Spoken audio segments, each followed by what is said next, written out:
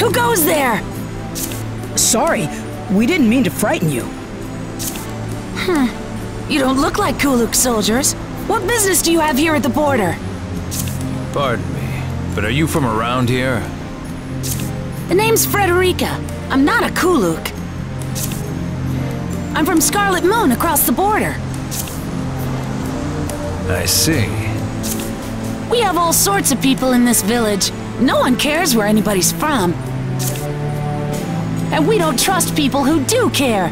So who are you and what do you want? I'm Hines. We're also from Scarlet Moon. I see. So you must be after those rune cannons they just set up.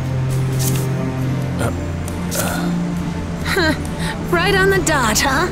I can see it in your eyes. And what brings you here? Well, if you must know, I'm investigating the long-standing border dispute. Even though the border region has been so calm lately? No, the Scarlet Moon Empire has been quite busy here. That's probably why the Kooluk deployed the rune cannons. You're not here to grab them and haul them back over to Scarlet Moon, are you?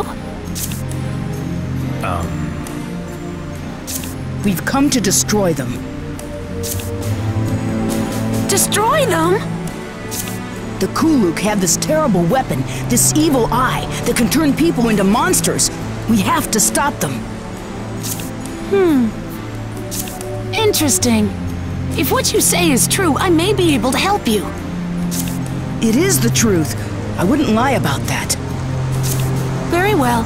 Come on, I'll show you the way.